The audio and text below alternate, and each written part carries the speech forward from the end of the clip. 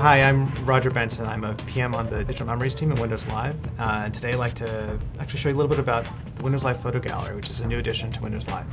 So I'm actually going to start off with uh, a memory card uh, that's got some photos from a couple events I was at over the past few weeks and one from a little bit before that. Photo Gallery makes it really easy for me to import, fix up, organize, and then most importantly share my photos uh, with my friends and my family. So I just popped in my memory card. First thing I do is to choose to import my pictures and videos with the Live Photo Gallery.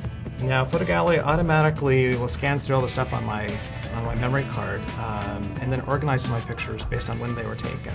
And so from right here I can go ahead and tag these photos.